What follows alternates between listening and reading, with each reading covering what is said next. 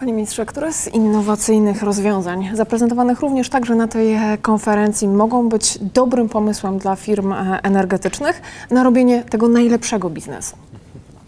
Z innowacją to jest zawsze trochę skomplikowane, dlatego że okazuje się, że ta najlepsza pochodzi z tych miejsc, których się nie spodziewaliśmy.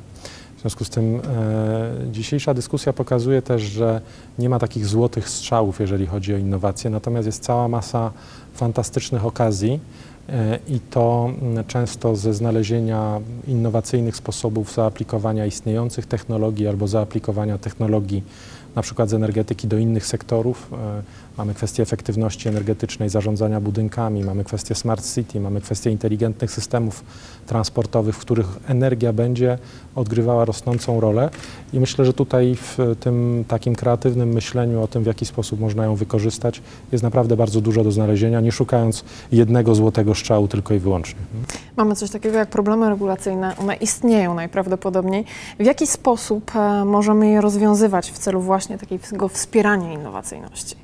Regulacja i innowacja muszą iść w parze, one są ze sobą połączone. Regulacja musi nadążać za innowacją, za zmianami technologicznymi, ale też regulacja ma za zadanie wyprzedzać pewne trendy e, i e, stwarzać takie ramy, które będą właśnie wspierały rozwiązania innowacyjne. Jednym z nich jest na przykład myślenie o klastrach energetycznych, w których byśmy byli w stanie połączyć różnego typu technologie, E, dać szansę, e, żeby rynek e, zadecydował, być może lokalny, być może niewielki, ale rynek zadecydował o tym, które z nich powinny w jakich proporcjach się rozwijać. Dlatego na pewno rola połączenia innowacji i regulacji to jest taki, takie stałe napięcie, które towarzyszy pracy regulatorów. Panie ministrze, a w jaki sposób państwo, rząd mogą wspierać te innowacje i jak będą wspierać? No, niewątpliwie e, po pierwsze e, tworząc ramy, które do, temu, do, e, do tego temu sprzyjają. Niewątpliwie również starając się wspólnie z sektorem wyprzedzać trendy, którym ten sektor jest poddany.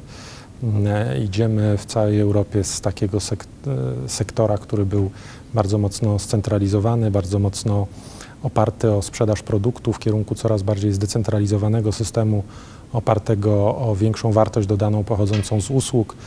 E, myślę, że to są elementy w stosunku do których wspólnie musimy znaleźć e, po prostu właściwe rozwiązania, w jaki sposób je, e, je promować. Natomiast wydaje mi się, że to jest rola wielu bardzo mm, aktorów, nie tylko rządu, ale też tych, którzy są odpowiedzialni za innowacje w spółkach.